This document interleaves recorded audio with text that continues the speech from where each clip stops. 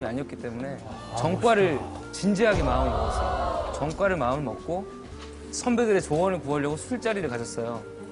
학교 앞에서 술을 막 먹으면서 그런 얘기를 하다가 캐스팅이 된 거예요. 그 매니저분한테. 그러다 갑자기 가수로 데뷔를 하게 됐는데 그 이특 씨 말처럼 이, 이 일을 안 했으면 전과를 해서 좀 다른 일을 하지 않았을까 그런 생각도 들고 그 정도로 사실 몰입을 했으면은 가수 생활을 하면서도 언제든지 그 수학이나 과학에 대한 열망이 있었겠네요.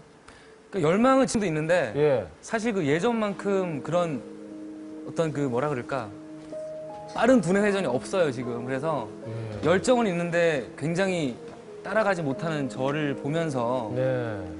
고민을 했죠 어떻게 하면 될까 그래서 생각한 게 연구소를 만들자 이게 장난이 아니거든요. 저는 진짜로 진지하게 얘기하는데 사람들이 웃어요. 항상 얘기를 하시면 얘기를 하면 언젠가는 수학 연구소를 만드실 거라고요. 수학 연구소든 뭐 자- 어떤 뭐 순수과학 연구소든 뛰어난 학자분들을 모셔서 많은 월급을 주고 격려를 하면서 뭐 예를 들어서 신소재를 개발하면은 그거는 금전적으로 굉장히 도움이 되는 거고 언젠가 뭐 운이 좋다면은 엄청난 진보가 이루어질 수도 있는 거고.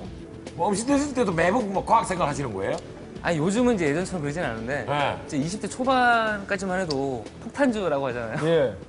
폭탄을 먹을 때 이제 휴지를 이렇게 막아가지고 이렇게 돌리는 게 있었어요. 그래가지고 저희 그 선배님들이 많이 하셨는데 다들 이제 술 먹고 노시는데 저는 이제 옆에서 이걸 종이에다 뭘 좀 적었어요. 그래가지고 그 유리컵 가운데 축을 이렇게 그려놓고 화살표 있잖아요. 벡터라고 하는 거.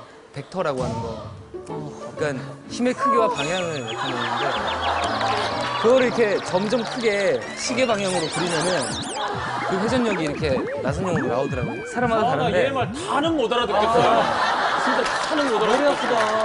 진짜 한 8, 90% 알아듣겠는데 한 몇 개 못 알아듣겠어. 군대에서도 책 많이 읽었어요. 다이내믹 듀오의 그 최자 씨가 예. 저랑 비슷해요, 약간.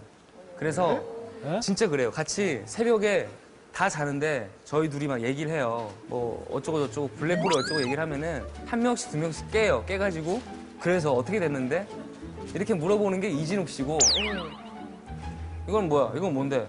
이렇게 얘기하시는 건 이동욱 씨. 말투가 약간 좀 까칠하셔가지고. 이동욱. 예, 그리고 그 과학책 보실 때 그럼 언제 하시는 뭐 하고 계셨어요?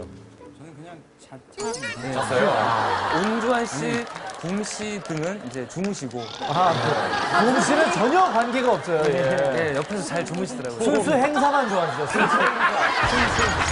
순수 순수 행사. 어우, 뭐 멋진 꿈을 얘기해 주셨어요. 연구소를 세우고 싶다는. 대한민국 강수장은 누군가!